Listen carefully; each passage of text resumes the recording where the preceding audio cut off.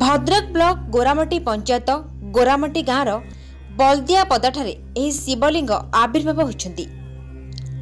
ଅମାବାସ୍ୟା ରାତିରେ ମାଟି ଖୋଳିବା ବେଳେ ହଠାତ୍ ଆବିର୍ଭାବ ହେଲେ ଶିବ ଶଙ୍କର ଓ ପାର୍ଶ୍ୱ ମୂର୍ତ୍ତି ଭଦ୍ରକ ବ୍ଲକ ଗୋରାମଟି ପଞ୍ଚାୟତ ଗୋରାମଟି ଗାଁର ବଲଦିଆ ପଦାଠାରେ ଏହି ଶିବଲିଙ୍ଗ ଆବିର୍ଭାବ ହୋଇଛନ୍ତି। ଆଉ ମାଟି ତଳୁ ମହାଦେବ ବାହାରିବା ପରେ ପୂଜା ଅର୍ଚ୍ଚନା ପାଇଁ ଲୋକଙ୍କର ନାହିଁ ନଥିବା ଭିଡ଼ ଲାଗି ରହିଛି।